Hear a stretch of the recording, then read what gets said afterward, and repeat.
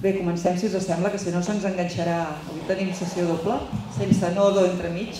Eh, això, això. Uh, benvinguts a tots a aquesta xerrada que, que hem organitzat com a commemoració de la Diada, tot i que, que va ser ell, oi? I benvingut també al, al nostre ponent d'avui, en Carles Camps. Camp. Camp, president de la Fundació d'Estudis Històrics de, de Catalunya, que moltes gràcies per acceptar la invitació. Eh? Després d'una jornada intensa com la d'ahir, la que vam comprovar, com, com sempre d'altra banda, que la gent hi és, hi som, volíem d'alguna manera abordar un perfil d'algú com Enric Prat de la Riba, de qui l'any passat se'n commemorava el segle del seu traspàs, el 1917. D'entrada, un personatge de qui tothom manté una determinada imatge, però que quan grates una mica et sorprèn, almenys a mi em va sorprendre. En Carles ara ens farà un retrat molt més en profunditat però llegint articles de premsa mm, em va sorprendre especialment un titular que el qualificava d'antisistema. I és clar, qualificar d'antisistema, Prat de la Riba, em, em va sobtar. Per què? Doncs perquè en una època on el sistema parlamentari s'estava tot just creant, ell era fora del sistema, fonamentalment perquè tenia voluntat d'estat. Una anècdota personal, el dia abans que en Quim Torra fos proposat com a candidat de la presidència va ser Terrassa, eh, convidat a parlar del mestre Fabra, ell és un expert en, en Fabra, i el centre excursionista el va, el va convidar, convidar a fer una xerrada. I una de les coses que em va, que em va quedar va ser quan va comentar eh, sobre Prat de la Riba, justament, que va aparèixer a la conversa, que Prat de la Riba es rodejava de gent amb talent sense mirar de quina corda eren. En el cas de Fabra, va tenir molt clar que era Fabra a qui li havia d'encomanar la, la tasca ingent de modernitzar la llengua.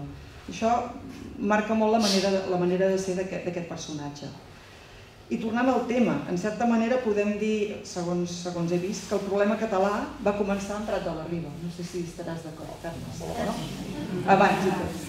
I de fet, eh, si tenim temps, també el, el Carles ens comentarà una mica aquesta exposició que, que ens ha cedit el memorial doncs, fins al dia 23, el tindrem, tindrem penjat, de la Catalunya, el regne de Catalunya fins al 1714, que és molt interessant i podem també fer una pinzellada, si us sembla, de, del contingut d'aquesta exposició. I sense més preàmbuls, doncs deixo amb el Carles. Gràcies. Moltes gràcies, regidora. Moltes gràcies, benvinguts. És un honor estar aquí i bé, un sentiment agradolç. Dolç perquè, bé, he estat convidat a fer aquesta ponència. Això havia de fer-ho del 1914, però aquests dies van col·lapsats i el seu president, l'amic i company Jordi Miravet, em va trucar demanant si podia venir. I bueno, sí, val, no tinc compromís aquell dia, puc fer-ho. Esperem, estar, esperem fer-ho bé, va ser un honor que m'ho proposés, un honor que hagi acceptat com a, com a ponent, i moltes gràcies a tots. Perquè això estava previst fa temps, i és honorable conseller Josep Rull, que està presoner de, les forces invasores, que des, des de fa 2014, de l'exposició, des de llavors es tenen aquí el país militar, ocupat militarment. Però han parat de fer repressió i de, i de persecució des de llavors.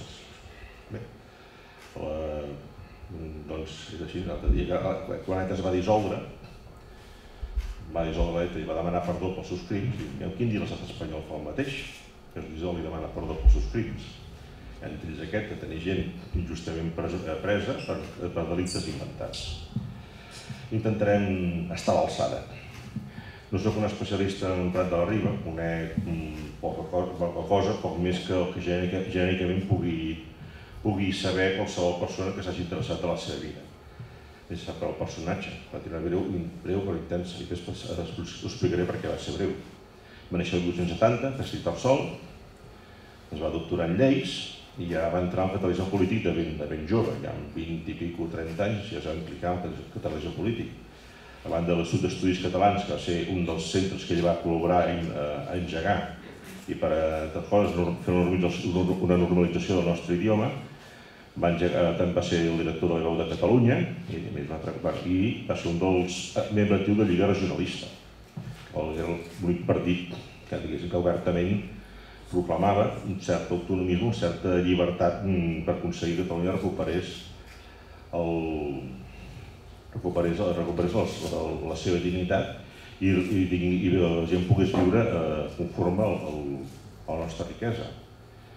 Hem de pensar que eh, l'any com estava Catalunya en 1900 doncs no molt diferent d'ara. Què vull dir?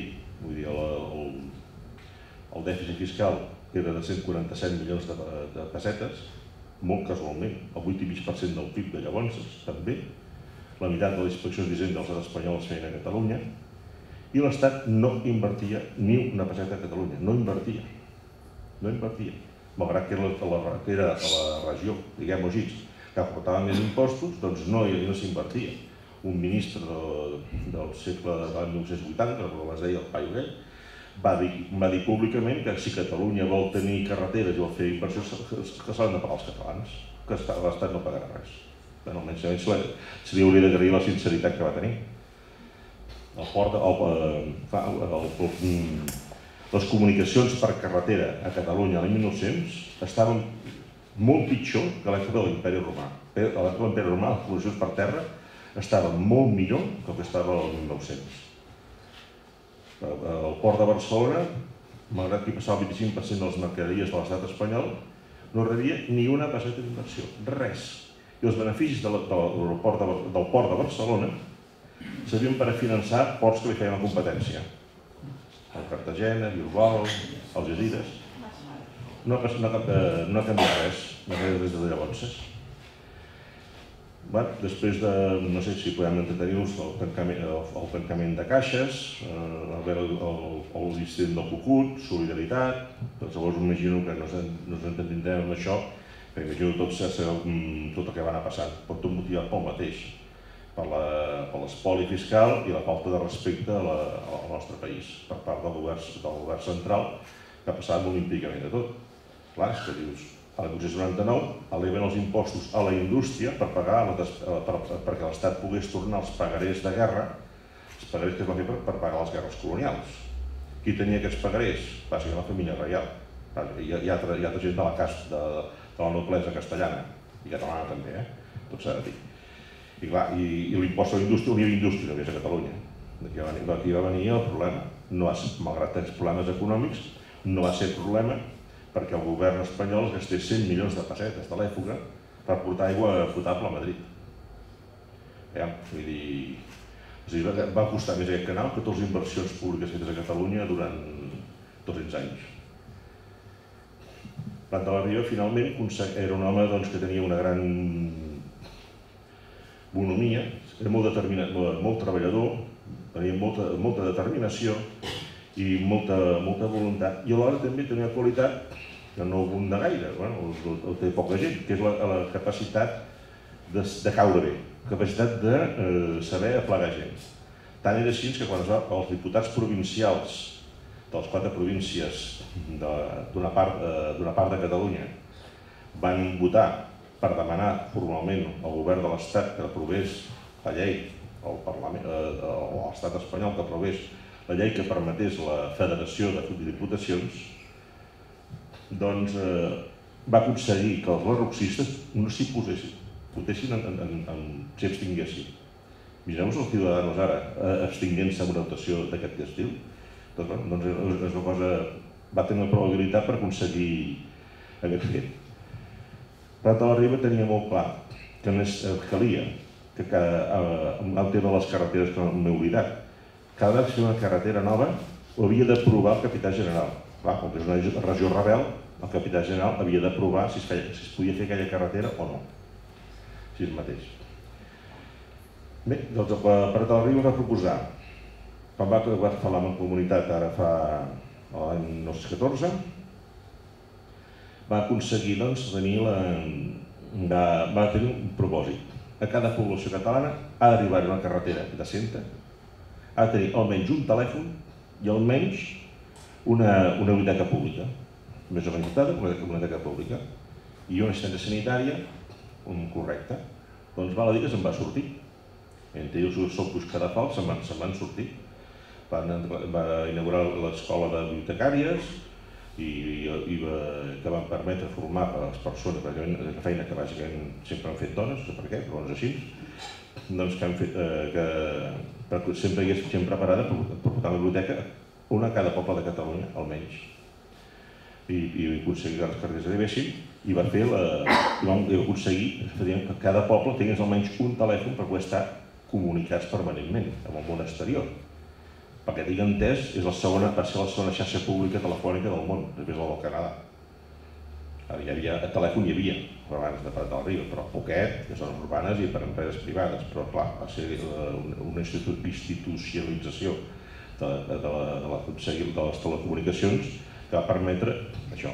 Amb uns recursos minsos, molt minsos, molt limitats, amb uns poders, mm, amb una capacitat de, de decisió també molt limitada, va, es va invertir i es va molt més durant aquells anys de la Mancomunitat, es van fer molt més, es va fer, es va fer molt més a Catalunya que tot el segle XIX, tot el segle XVIII.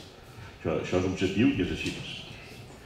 Llàstia Ratalrí va morir molt jove, 47 anys. Des que va morir, molt ho dic clar, va morir enverinat, assassinat. L'any 1902 va haver una revolta dels pagesos, us explico mica llarg, no em vaig d'estudi, eh? és que aquí. A França, en 1902, els pagesos catalans occitans van muntar una, revolta, una, una petita revolta contra el govern francès. Estaven fars de sentir-se oblidats, de sentir-se marginats de la, del, del, del govern de l'Estat. Els polítics es venien allà a demanar, a demanar vots i no s'oblidaven de fer les inversions i la, i la legislació necessària per a protegir l'agricultura, que és la, la font bàsica de la riquesa d'aquestes zones. Quan van, no sé dos, Prat del Riu va ser Perpinyà i va dir en francès, va escriure en francès que els països catalans estarien molt, el Rosselló, el Catalunya Nord, estaria molt millor junt amb una Catalunya lliure això, aquestes paraules escrites, publicades en francès a Perpinyà, deuen suposar una setmana de presó o poc més, més o menys.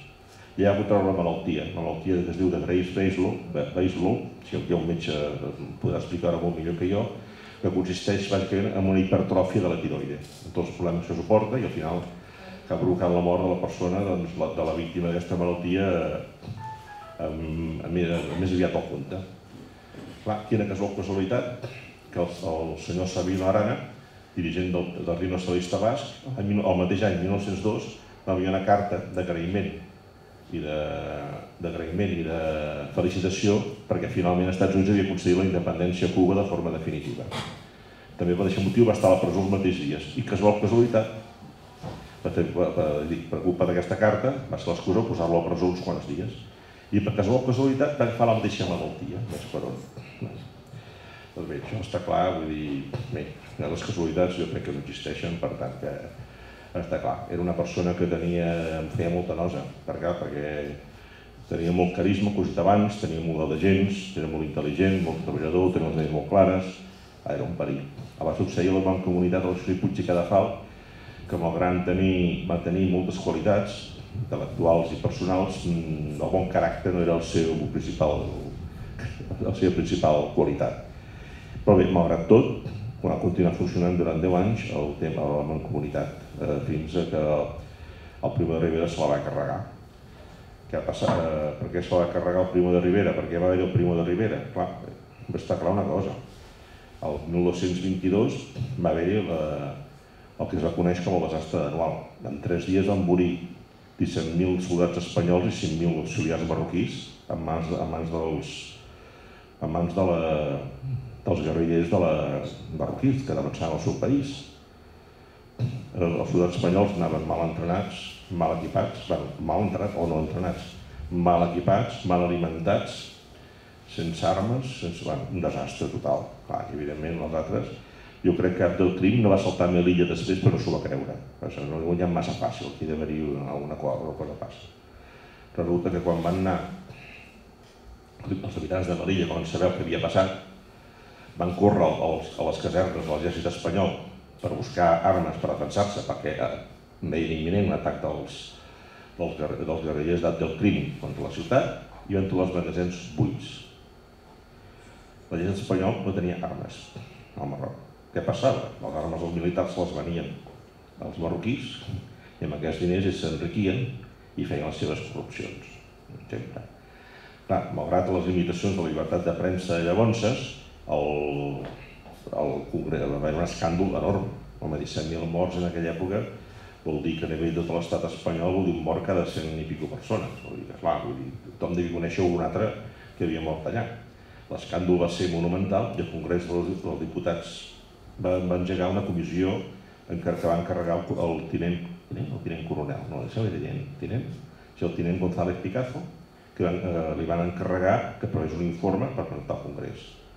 L'informe era demolidor pel tema de la corrupció i la ineficiència dels militars espanyols. Era una cosa realment horrorosa. I sembla ser que la família real estava implicada en aquests temes de corrupció. Eh, que, eh, això no s'entén. No s'entén que el rei que Alfons XIII tothom diu que no era cap, no era, no era l'Einstein precisament, però tampoc era cap imbècil, tot s'ha de dir, donés tant suport eh, eh, explícit eh, al cop d'estat del Primo de Rivera. Va ser el divorci definitiu entre la corona i el poble espanyol mm, en aquell moment. Eh, clar, vull dir què va passar? Que el, el juny del 23 eh, l'informe estava a punt i al setembre havia, setembre del 23 havien de, havien de, de presentar-se a les, cort, a les Cortes a l'informe i passar el tema definitivament a la justícia. El fiscal militar, el fiscal Togado, ja estava escandalitzat amb el tema aquest de la, del, que, del que hi havia aquest informe. I casual casualitat, no hi havia un cop d'estat del Primo de Rivera. I clar, evidentment, el judici no s'ha fet mai i bé, i clar, i Catalunya com sempre ha sigut l'asa dels cops de tota aquella, de, de, tota aquella caterva d'impresentables i, de, i de corruptes i de, i de mafiosos doncs bé, doncs va ser el motiu per a, i va ser votació que així va acabar la, la llibertat a Catalunya, la poca que havia hagut la, la, la, la, la mica autogovern que havíem tingut des de, des de feia, feia, feia 200 anys i Bé, la resta ja, ja, ja, ja és conegut. El catalanisme, el catalanisme ja havia, havia nascut de, de feia molt temps. Mai a la vida va deixar independentisme a Catalunya. Bé, els carlins eren independentistes. O sigui, ells, volien derrocar el decret de nova planta i tornar a l'anterior, estat anterior de 1914. Si els carlins haguessin guanyat, s'hagués passat això. I ho deien ben clar que se sentien catalans, que no volien treure's el jou de Madrid, literalment, de sobre, i que, i que, i que desitjaven, la, i que desitjaven doncs, eh, guanyar per anul·lar anul·lar el decret de nova planta i restaurar l'estat català, amb l'aragonès, el valencià i el, i el balear, de mallorquí. Això és el que és passat si els catalans guanyar la guerra. Jaume Balmes, l'any 1840 aproximadament, 1840 aproximadament, ja va escriure que això de l'independentisme no era bo. Bueno, si, si era bo vol dir que hi havia gent que pensava que sí. Perquè repliques una cosa que no existeix. Clar que sí que existia. El gran arrencada, vull dir que tota la vida hi ha hagut mm, aquestes ànsies d'aconseguir la llibertat del país i la llibertat de 1914 i tornar a l'estat anterior de 1914, que tot i compartir corona teníem, l'estat, teníem un estat propi. Estat propi que, havia, que tenia un nivell, el nivell de llibertats i de riquesa, dels més, dels, bueno, el nivell de llibertats més alt d'Europa i de riquesa no tenia res d'envejar ni a Anglaterra, ni a Holanda, ni a ningú. Home, fet, fet, abans de l'any 36, Catalunya tenia la, cinc, la cinquena renta per càpita més alta del món, que és Estats Units, Canadà, Suïssa i Anglaterra, que és venir a Catalunya. I l'any 31-36 s'havien doblat el número, de, el número de vehicles tant privats com de feina, tant particulars com de feina, vull dir, eh, s'havien doblat en 5 anys, que el món que arrossegava una crisi econòmica molt forta del, del crac del 29, vol dir així, va prosperar extraordinàriament. Eh, de... L'estat que tenim el 614 doncs és l'estat que, l'estat que tenia més llibertats d'Europa. Del món no ho sé, probablement també, però d'Europa segur. No, molta cosa, molta gent no sap que l'any 1705 es va muntar el Tribunal de Contrafaccions, el que ara diria el defensor del poble, que qualsevol persona que es sentís agreujada per, un, per una llei de l'Estat o del govern o de l'Ajuntament que fos, tenia dret a acudir a aquest, a aquest tribunal i posar i demanar que aquesta fos anul·lada o no s'apliqués per aquesta raó, per aquesta i per aquesta. I es feia i així, així es feia. De fet, ja l'any 1283, el rei Pere II ja va decretar que les lleis havien de ser aprovades pel Consell del General, Generalitat, amb els seus braços respectius. el eclesiàstic, el militar, que se'n deia que era el, que era el, els, no, la noblesa, i el familiar, que se'n deia, que era la burgesia, els plebeus. O sigui, els plebeus podien oposar-se a una llei i bloquejar-la i pedir que el rei firmés una determinada llei, un determinat impost, a l'any 1283. Això a Anglaterra va a passar fins al segle XVII, ben entrat. El Tribunal de Contrafaccions, que que va el, qualsevol poble, va trigar cent i pico d'anys a instal·lar-se, crec que va ser Suècia, el 1820 i pico, va començar a veure la figura de l'ombudsman, que en van dir ells. Catalunya era un estat com a un país, com s'explica aquí en aquesta exposició, de que tenia un nivell de vida i de cultura molt, eh, molt elevat, molt alt. Un, ja al segle, des del segle XII en endavant, Catalunya va construir una potència militar i una, una militar comercial i el, i el militar que, corresponent. Les orquestres de Mallorca, València i Sicília, sobretot, i Sicília Sardenya, van anar consolidant un, un, un empori mediterrani important. De fet, la marina catalana era el que es podia superar, inclús volau superar la, la de Gènova o Venècia, o altres potències italianes. El, aquí va, es va desenvolupar molt ràpidament una legislació financera, tema dels préstecs i assegurances marítimes, el llibre del Consolat de Mar, que és un que, que ha sigut l'inspirador de, majoria de, les, de la majoria de les lleis eh, del, dret, del dret marítim a Europa. Inspiradora a Gran Bretanya, als Estats Units, a França va estar en vigor fins a la revolució, fins a temps de Napoleó, amb el Codi Napoleó. El llibre Consolat de Mar va ser el poc que va sobreviure de la, del, del, del dret de nova planta i va arribar fins al 800, no sé quan, que va ser que va sortir el Codi, el Codi Civil. Fins llavors, aquesta, inclús en ple segle XIX, en plets relacionats amb la marineria, els advocats eh, nord-americans feien servir per defensar el seu client o la seva tesi articles del llibre de Consolat de Mar. Això està, això està documentat. doncs Catalunya es va anar consolidant com a, com a, com a empori marítim, malgrat el que expliqui i m'apliqui la història, que se diu un imperi aragonès. I si un aragonès, no té el mar, Aragó no té mar. Si ens han volgut fer desaparèixer la història. Primer eren uns comtats carolingis, després van ser aragonesos, i després van passar a ser espanyols. Bé, doncs no, vull dir, totes les proeses aquestes i els grans el gran comerç, la gran legislació, la cartografia, tema important. Ahir em comentava un company que segons sembla aquesta cartografia catalana va ser impulsada des de partir de Roger de Flor, que va tenir accés a la meva cartografia que hi havia llavors, que era la Vicentina, i va portar tota la tecnologia cap a Catalunya de la, de la, de la cartografia. Fos com fos, llegia un, llegia un, un llibre o un reportatge sobre la història de cartografia, Catalunya no surt Tant, però sí, van ser, van ser els catalans que van començar la cartografia a Europa. El, el, el preciós Atlas de Brava en Cresques és l'exemple més significatiu.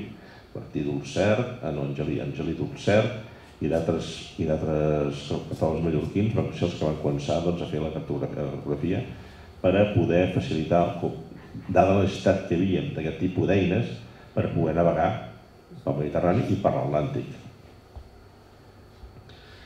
van, eh, clar, i després llegeixes la història i després comença a partir dels Reis Catòlics, comença Espanya, comença Catalunya en una decadència.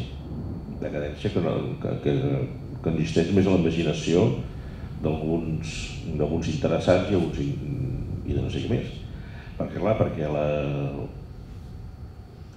et dona a entendre que un país del món, eh, d'Europa, on la pesta i, les guerra, i la guerra civil va ser determinant durant segles va ser Catalunya. Castella va estar durant 100 anys, va estar 70 en guerra civil. I França, amb la guerra dels 100 anys contra els, contra els anglesos, va ser un conflicte mm, pràcticament seguit, molt dur. I així és tot arreu, tot arreu del món. La pesta ha afectat tota Europa, però clar, són uns llegeixes amb ells, no és fotografia oficial, només eh, va afectar Catalunya, mentida. Doncs què passa? Ve la descoberta d'Amèrica, per molt que digui, va ser feta per, per catalans, amb la legislació catalana, amb moneda catalana i amb tecnologia catalana. Cartògrafs catalans, dirigits per Ferrer de Blanes, van ser que van tractar l'anomenat Tractat de Tordesillas, i i va ser des de Catalunya es va començar doncs, a fer el gran comerç cap a Amèrica. Si no, d'on ve tanta riquesa? Per quan, eh, quan a partir del de Constantinople eh, es talla el comerç amb Orient, Gènova i Venècia s'arruïnen. Això molta gent no ho sap, Gènova i Venècia s'arruïnen totalment i fins que no arribar la revolució industrial al final del segle XVIII van ser un, uns països pobres i, i demacrats. En canvi, Catalunya va començar a prosperar com mai al segle, al segle, al segle XVI i XVII. La prosperitat va ser mm, econòmica, va ser grandíssima. Mireu per tot arreu, de quina època són els temples parroquials, les grans masies, les grans construccions. La Palau de la Generalitat és del, és del segle XVI. El, les, les drassanes de, de Barcelona és el gòtic civil més gran que hi ha a Europa, també d'aquella època, del segle XVI, l'època de la suposada decadència. La...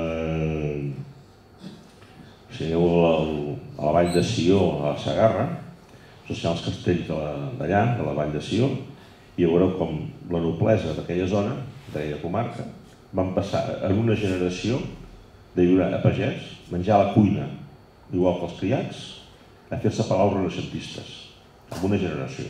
Això, està, això és evident. A Pallargues, un palau, un, un palau de la noblesa de, de, de nobles, que vull dir que sí, molt aconsellable de visitar, té l'arc eh, l'arc civil, l'arc particular, més gran d'Europa, del got de gòtic. L'art gòtic, ara bé, art gòtic particular més gran d'Europa. Això en plena època de decadència.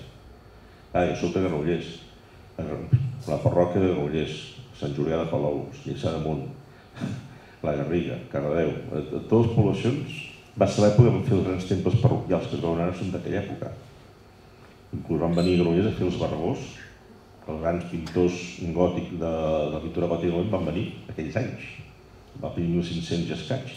I com va plegar allà se'n va anar a Lliçà d'Amunt, un poble de pagès, de secà, que i van treballar allà, van fer allà totes les obres parroquials també, una església de Just Santa Rufina, i decorada pels bargos també. Carai, no va treure una d'aquests diners. Tenim, la tenir la gran immigració occitana, com és possible que la gent emigra un país, se'n va on pot guanyar-se la vida? Els africans que emigren no s'aniran no s'aniran a l'Índia, aniran a un lloc saben que poden trobar feina, que és Europa. Aquí l'emigració occitana va ser brutal. Hi ha el registre de l'Hospital de Sant Pau de Barcelona registrava la nacionalitat dels, dels, dels pacients que entraven.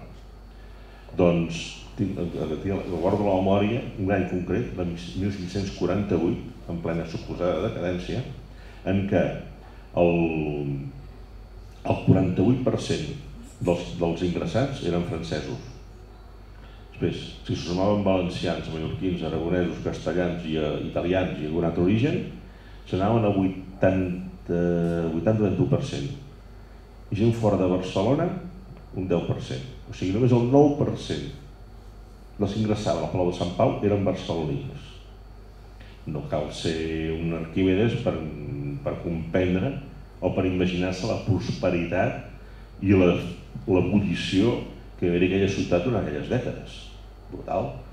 I es va mantenir durant molt temps el, una proporció molt alta de gent vinguda de fora que es casaven i que es casaven aquí el 10%, durant molts anys, el 10% dels nuvis de Catalunya eren francesos, occitans. On eren els homes? Tenien torrencial i tots? O què passava?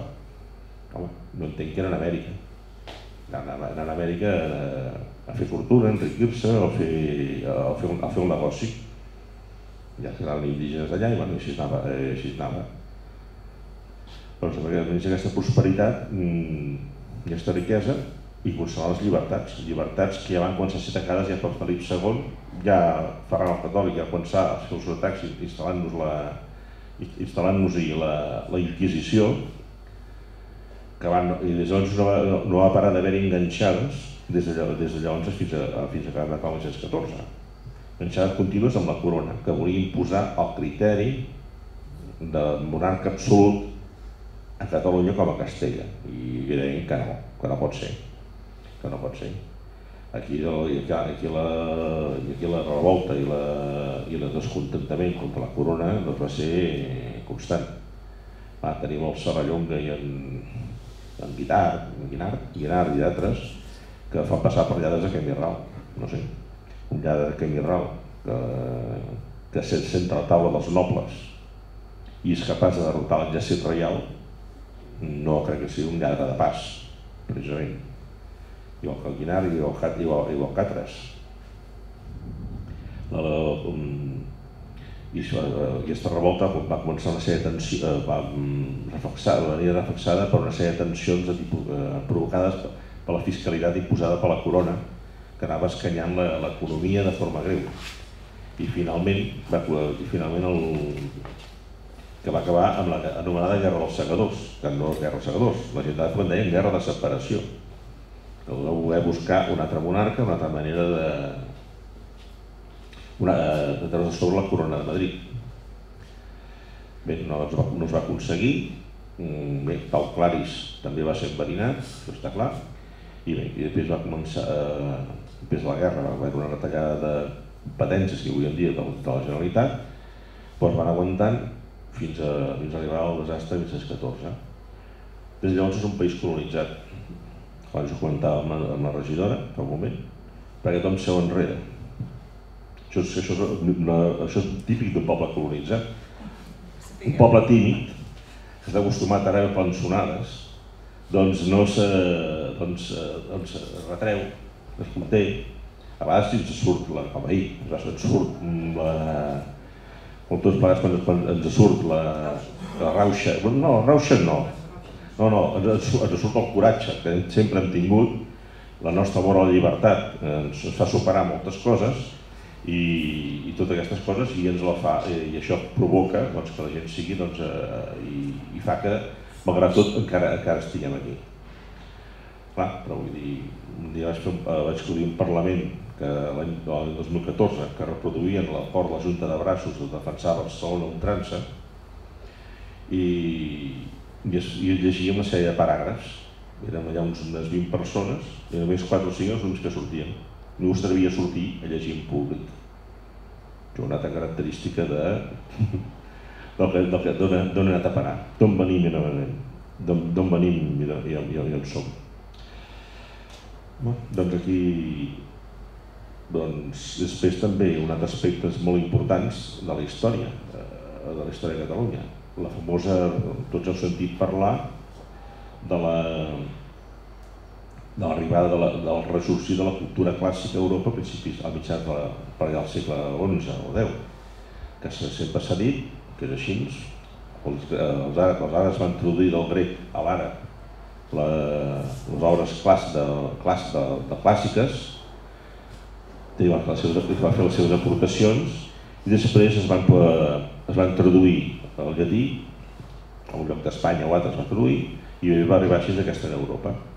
Tot sempre s'ha volgut magnificar l'Escola de Traductors de Toledo, que va ser un dia de, uh, un, una flor d'hivern, una, una, una, cosa que va ser molt esporàdica, va existir sí, però una cosa molt esporàdica.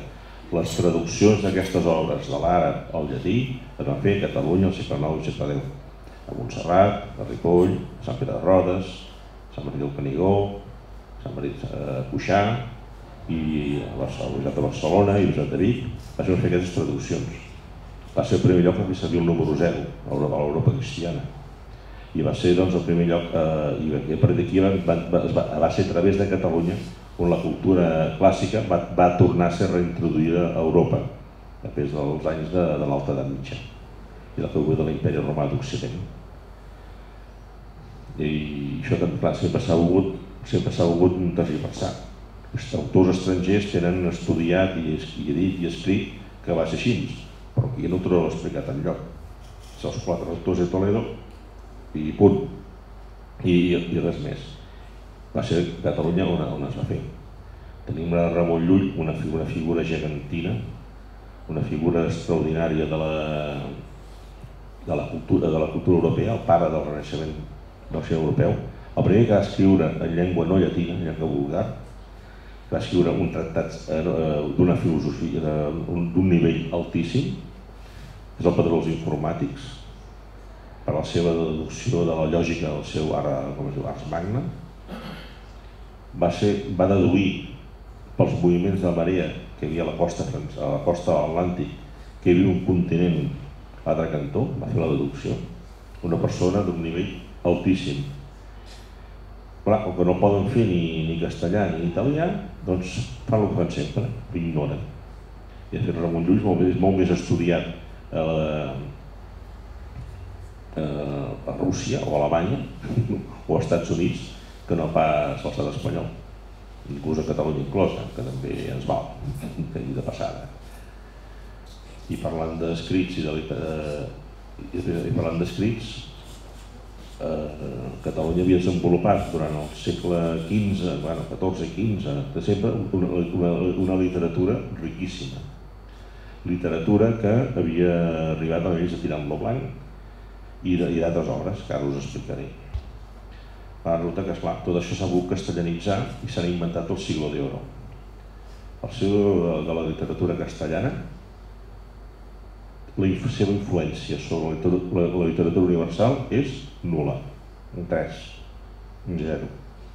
L'única obra que té fama és el Quixot, on es fa deixar com, com, com tontos i bojos eh, si fos espanyol em faria vergonya pensar que l'obra principal de la, de la literatura és, eh, és un llibre que em, fa, que, que em mostra com a poig i tonto.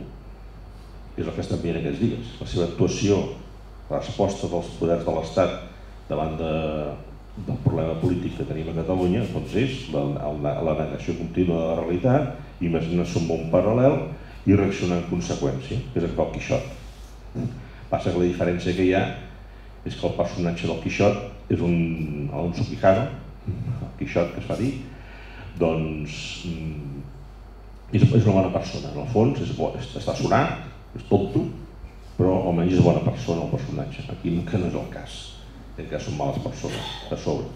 Amb la qual mm, passa tot el que passa i hi ha tots els embolis que, hi ha tots els embolis que, que veiem, que estem patint, que estem patint tots plegats el passat, tirant al banc, va ser un, un anònimo castellano, perquè no sabia l'edició en castellà anònima del 1506 publicada a Valladolid.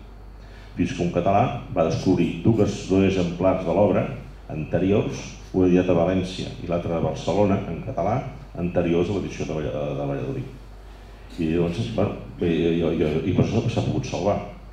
Va, plallats de Torlos, a la Celestina, no han tingut tanta sort i, i dedicat obres, eh, com a obres primordials, com a obres destacades.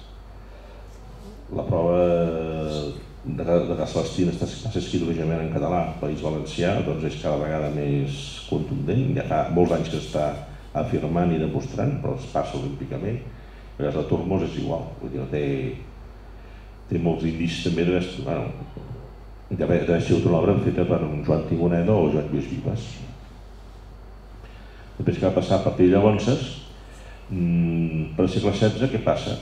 Un inventari de béns d'una família demostra que de Barcelona, estàndard a l'any 1500, veia que hi havia un 40% de llibres en català, uns tants percents, 20, 20, 10, 15, en francès, italià i llatí, i en castellà eren 4 o 5 unes dècades, 20 anys després, la, la proporció s'ha invertit.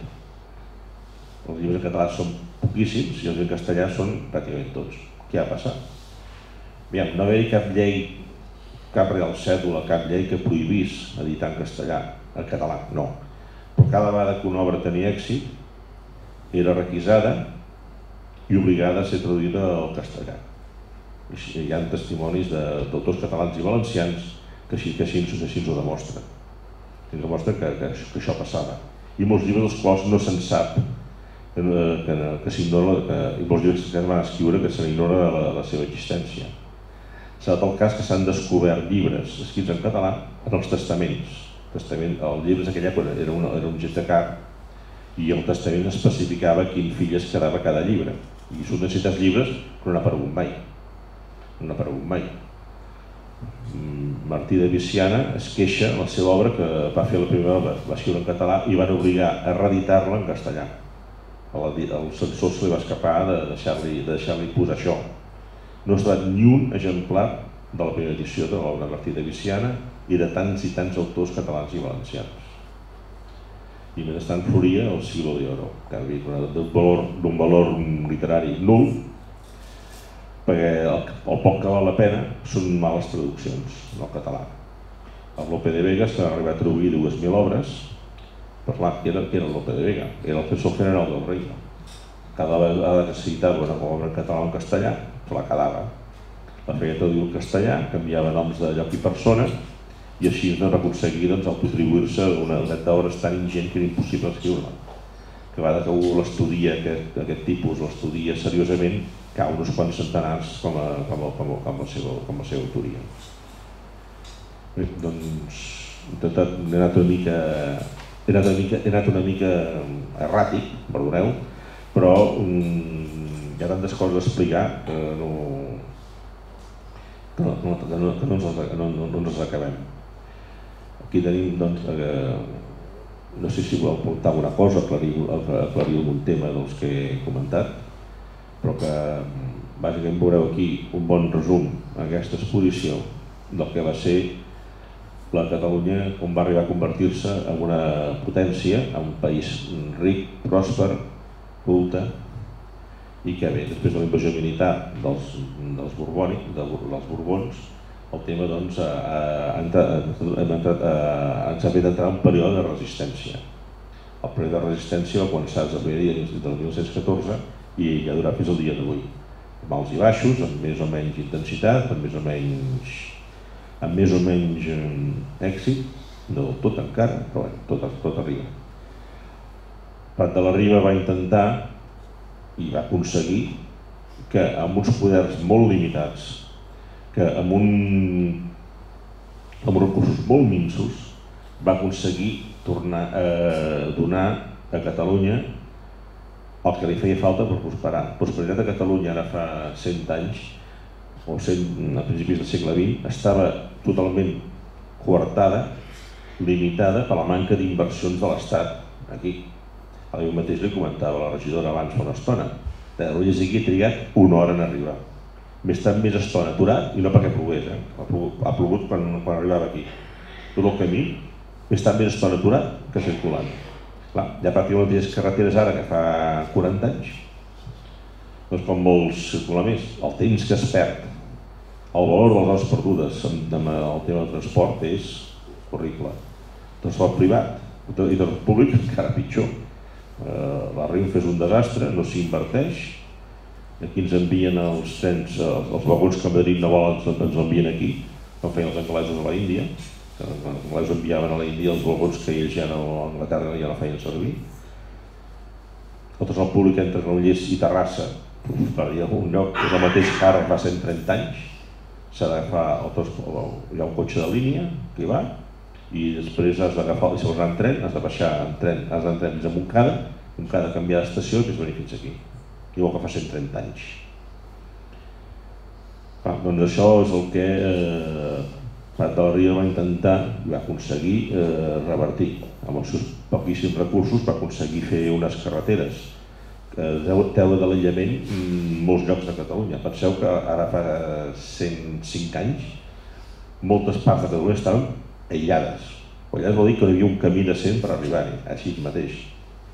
Eh, clar, que hi havia, aquella, les poques carreteres que hi havia, clar, eren de terra, no necessitava un manteniment continu, i què es feia per a, què es feia per a, per a, per a on es feien els recursos? Doncs a base de més impostos, igual que pagant-los a banda. A més de pagar els impostos normals, s'havia de pagar més impostos per a, per aconseguir finançar el manteniment i la construcció de noves carreteres. Noves sempre el capital general i és bé, eh? clar. es posava el que es deia uns arbitris, arbitris una mena d'IVA de l'època, que es feia un recàrrec en el preu de certs productes, la carn, la llenya, mm, el vi i altres productes, i, i, i productes alimentaris, que és pagar eh, un recàrrec a la contribució per aconseguir pagar el que Madrid es negava a pagar, malgrat treure, malgrat esperim el país fins, al, fins a l'extrem. O sigui, 47 milions de pessetes d'aquella època eren molts diners, 8,5% del PIB, igual que ara. Doncs a l'època del 15 anys més tard, l'any 30, 29, el espoli fiscal era 600 milions de pessetes d'aquella època. I també continuava sent una porció molt similar a la del PIB. La falta d'inversions de l'Estat eh, col·lapsava eh, i entrebancava i ofegava l'economia catalana i la seva indústria. I, bueno, i Patal Riba va aconseguir ah, col·locar un telèfon, que dir, clar, si no si un poble té un telèfon, com sap quan és el bo d'anar a vendre el, producte, el, el que han produït? Com saben que és el bo d'anar a comprar el que necessiten, si no tenen un telèfon que ningú els expliqui? Doncs, doncs va aconseguir mm, una prosperitat, donar a Catalunya una, una empenta econòmica, una empenta molt important i que va tornar-nos també a més la dignitat, tornar la dignitat d'utilitzar l'idioma català d'una vegada com a idioma oficial com a idioma institucional i com a idioma doncs, d'aprenentatge, això que el primer de Rivera es va, es va carregar. No sé si... Bueno, perdoneu, he anat una mica erràtic, ja ho sé, però tot, és, eh, tot, va, tot, va, tot, no, tot va pel mate, el, mate, el mateix camí, la mateixa via. De dir, bueno, un, un país pròsper, ric, culte, pròsper i avançat, que s'ha de sota sotmès a un règim retrògrad, un règim, eh, un règim retrògrad, una monarquia mm, pitjor que els medievals, que a l'època medieval he vist una cosa tan horrorosa com aquesta, i ens han sotmetent a, una, a un espoli un centralisme que ens ha impedit i impedeix, impedeix la nostra prosperitat econòmica. Malgrat tot, mm, tenim aquí una, eh, tenim una, una, una indústria nostra està avançant com mai, està exportant com mai i tot va anant malgrat tot. Bé, doncs, no sé, eh, doncs... I, i veu truncat a l'any 24 tota aquesta, tota aquesta, tota aquesta sèrie d'esforços. És cert que aquí va ser una prosperitat, però com he dit abans, els anys 30 que no eren, es va continuar prosperant igualment. Alguna cosa teníem, perquè Espanya la indústria no, no, no en tenien, no en tenien. Eh, molts deien, al segle XIX, quan s'ha a Catalunya, deien els castellers allà, afortunadament nosaltres no, no tenim, no, no ens ve, no, no ens sortim indústria, no no ens industrialitzem. Afortunadament per què? Perquè aquestes mentalitats medievals, clar, indústria dir treballadors, treballadors vol dir sindicats, vol dir partits d'esquerres, vol dir bueno, conflictivitat, però és la conflictivitat normal en un país que pròsper, on les, les cases socials doncs, tenen les seves polèmiques, les seves disputes per aconseguir els seus, eh, els seus objectius, el seu benestar. Doncs clar, això no ho volien, preferien d'això, continuar com sempre, tenint una, un, un, un país de pagesos pobres, pagesos i pastors pobres i cultes, que fàcils de dominar i es poguessin viure tranquils sense la complicació que per ells suposava una industrialització, una industrialització que mai a la vida va fer por aquí a Catalunya. Sempre es va afrontar sempre va tirar endavant i se'ns va veure clar que la indústria i la, que la indústria i el comerç era la base de la prosperitat, però per a tots els països desenvolupats.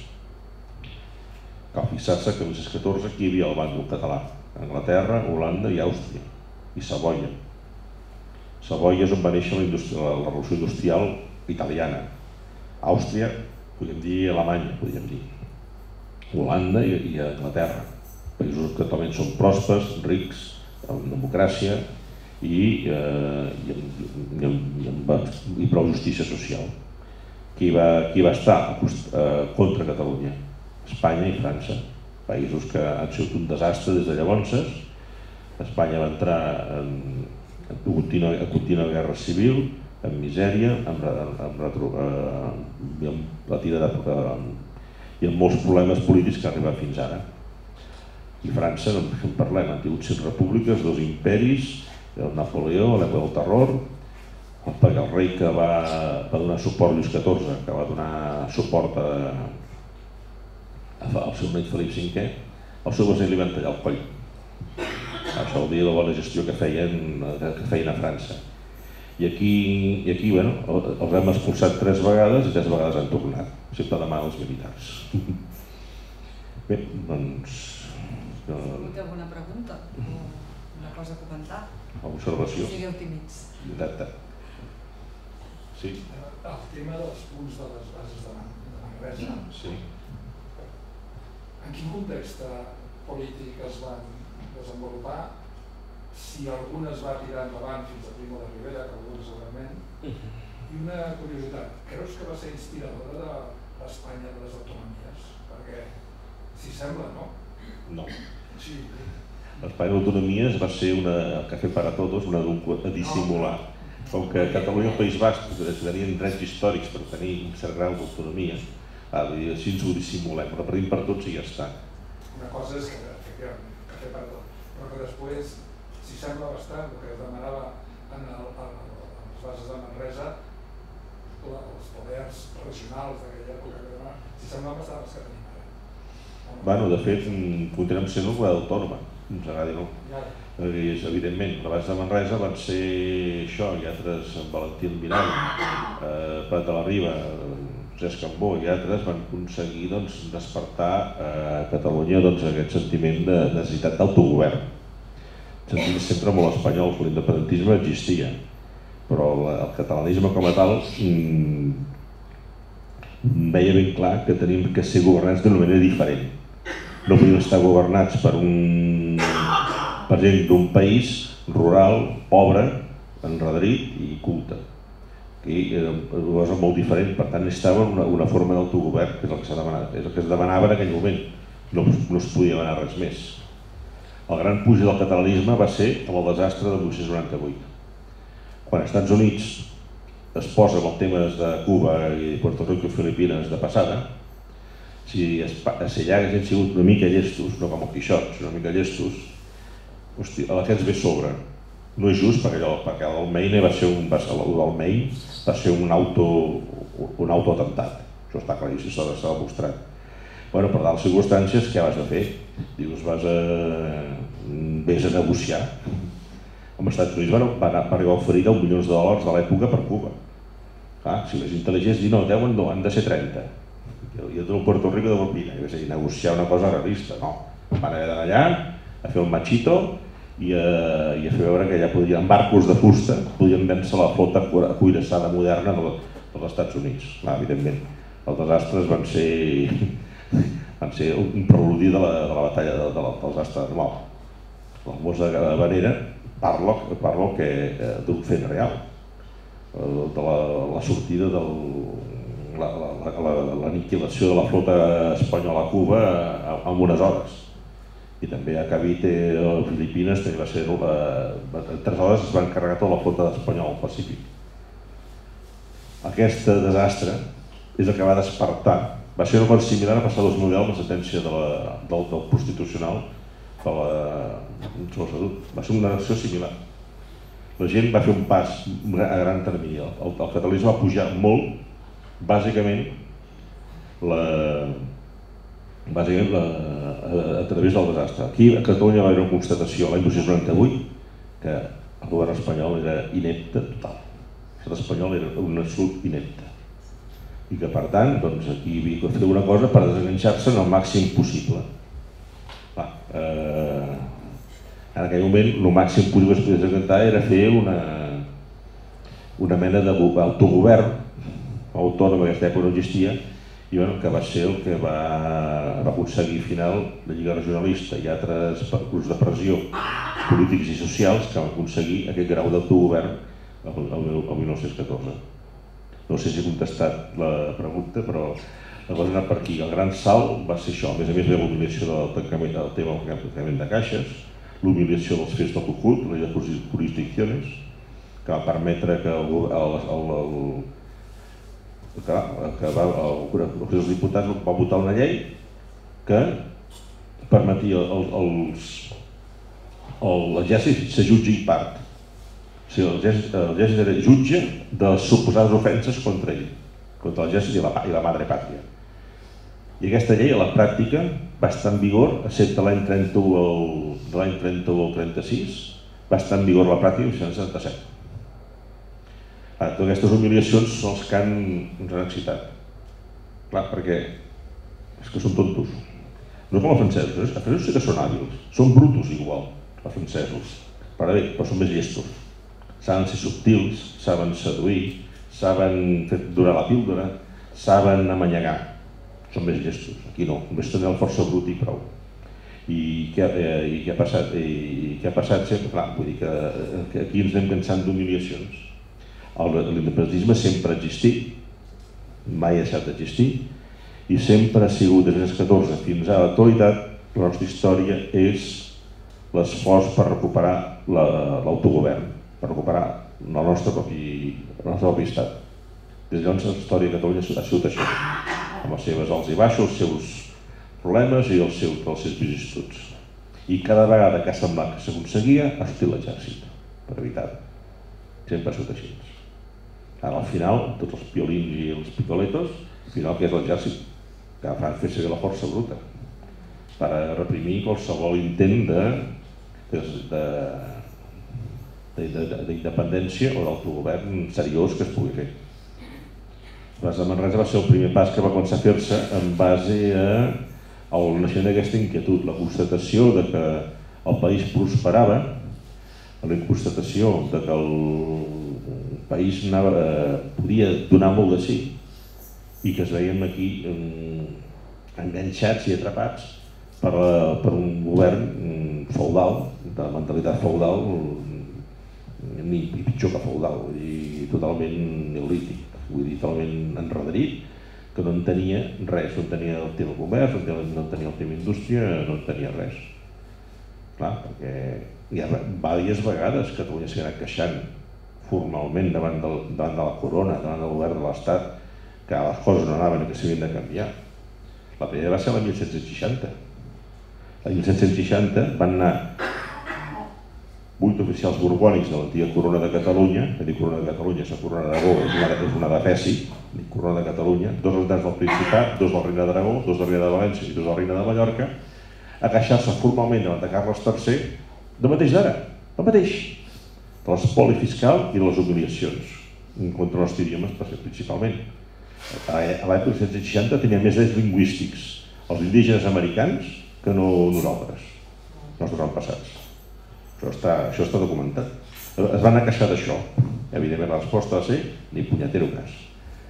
A 1870, una comissió formada per els grans polítics de, i empresaris del país van anar a veure el fons 12 i van demanar-li el mateix, més elaborat, una legislació més moderna, que produís la indústria, que estimulés l'economia, etc etc. Doncs ni punyetero cas. La, quan el Fons va morir cap de poc va ser l'excusa. Al cap de dos anys es va repetir el mateix. El Memorial de Greuges, que es va presentar a la reina regent, l'any 1880, no sé quan, es va presentar. Ni punyetero cas. Ah, I per això 92 diu, han de fer alguna cosa. Que si un autogovern i seguim nosaltres tenir aquí doncs, una, una capacitat d'autolegislar-nos i de protegir i potenciar la nostra economia, i la nostra prosperitat i la nostra cultura. I és anat, així és anat. Així és anat. Això la tercera via, ja, dit, eh, ja començava el 160 ja, ja va començar. Ja ha fracassat sempre. Encara hi ha algú, bueno, ja, ja fa temps que, ni, que ningú en parla, però que és un tema que ja fa 258 anys que es, van aprovant i no, no mai ha funcionat. Clar, aquesta falta d'atenció, aquesta falta de respecte, aquesta falta d'inversions, la falta de les contínues humiliacions, la persecució del nostre idioma, ser el català va arribar a estar prohibit a les lápis del cementiri, eh? I no és un acudit, això va passar. Està prohibit el teatre, va estar prohibit els discursos, el Ateneu Barcelonès, una vegada que ho feia una ponència en català, no serà tema polèmic, podia parlar jo sé, del romànic o del, del tema, i venia la policia i deien o sigui en castellano o aquí s'acabava. Clar, això havia passat. Ah, vull dir, ja una falta d'humiliacions, al final la gent va reaccionar, va reaccionar, va reaccionar. I, la, la, i com deia abans, el desastre de les guerres colonials va ser la prova definitiva, és que calia, de veure que amb aquest govern aquesta mentalitat no es podia... era impossible de, de fer res. Pues de la dit les possibilitats del moment, seguint mica d'autogovern, que es acaba sent la mancomunitat, una fusió de diputacions que va aconseguir doncs, eh, va aconseguir doncs, donar a Catalunya doncs, donar prosperitat eh, de base per una arrencada doncs, de, de, de, la, de la prosperitat i de la, i de la modernitat. Hem tornat a, a la mancomunitat. Eh? Ah, sí, sí. Hem fet una volta llarga, Mm -hmm. Però És que la història de Catalunya sembla el del Sísic, aquell personatge de la mitologia que s'ha obligat a pujar una pedra de la muntanya quan, quan rodó la vall altra vegada i torna a pujar. És el que tem. bé, si us sembla, teniu alguna altra pregunta? O... Mira, Josep. cop vist la història, no? el nat, no es repeteix. En aquests moments ja en tenim l'esperança que ens en sortirem. Tenint en compte que sembla ser, no? Tenint en compte que sembla ser que la meitat del poble no, no, no hi sent. Eh? Els de la classe del rei, Sí, no, no, no sé si són la meitat, eh? però és igual. El 40, no hi sent. Eh? Pues no hi sent. Més, eh, jo diguem que aquestes èpoques del fons tots, de 13, el poble català, segurament era català. Mm. Eh? Ja, és que això és molt complicat. Eh? I ara, no ho sé, si ho són tots. Bueno, aviam, l'any 31, el 32% de la població no, havia nascut a Catalunya. Entre ells el meu avi, no a Anglaterra, que era votant d'Esquerra Republicana, això es va dir mà. Vull dir, esclar, això depèn, això depèn de les ganes i depèn de moltes coses. No, jo el que he dit sempre, vull dir, la independència ens la a la seva estupidesa. La nostra, la nostra dubsoneria, com la d'ahir, van demostrar això, i, la, i sobretot, sobretot la seva estupidesa. Aquesta no, no, mai m'ha decebut demostren ser uns, eh, no sé, un, uns maldestres integrals.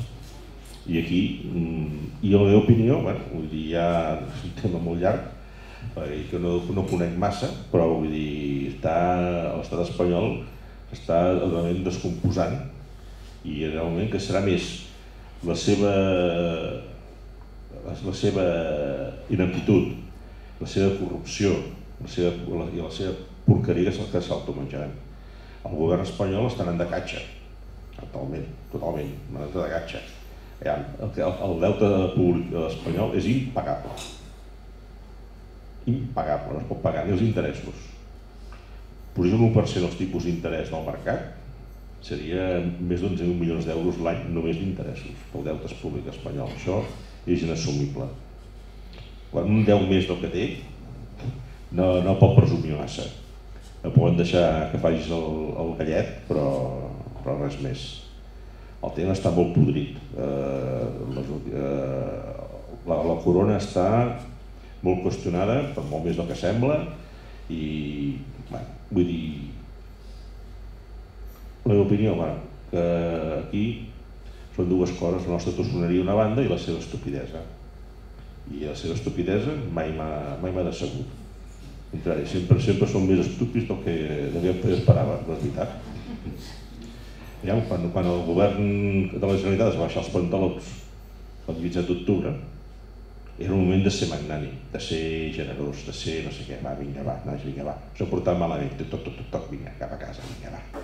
Doncs no, aquí fer el xulo, i tal, igual, i fer cada mes. Què està fent?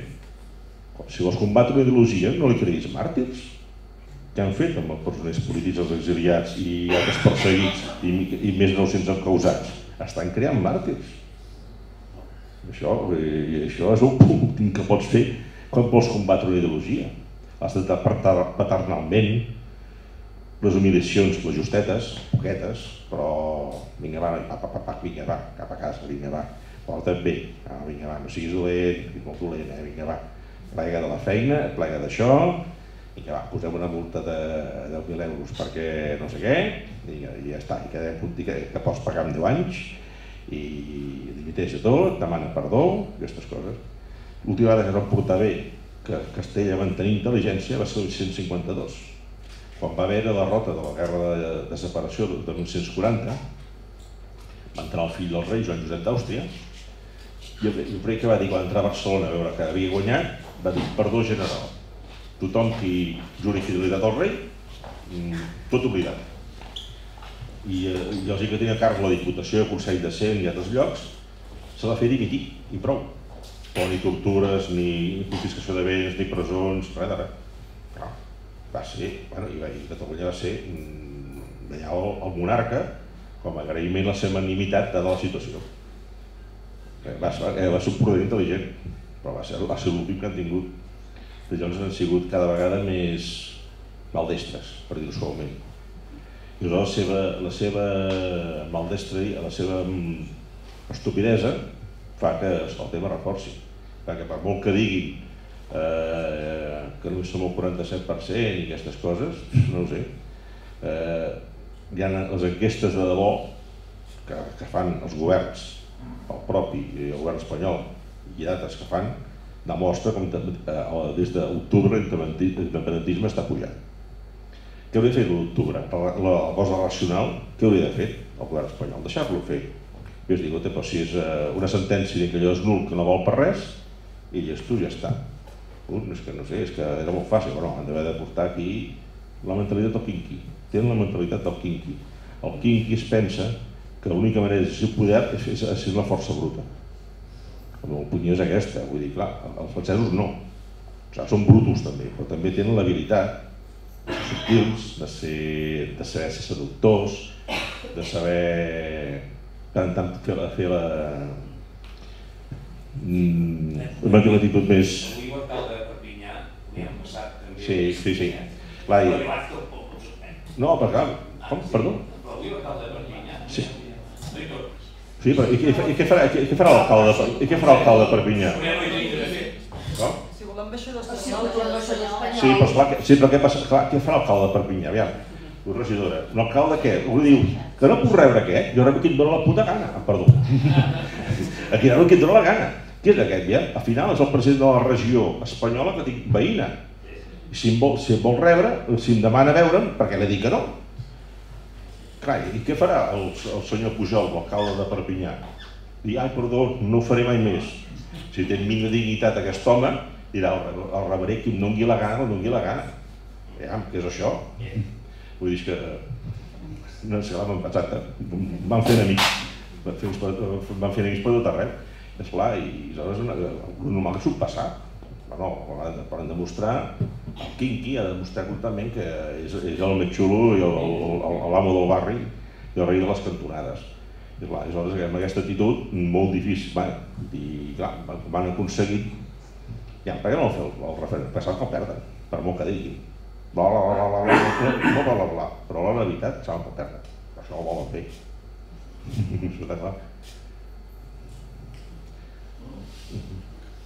Bé, doncs, passat per tot arreu, fet un, vol.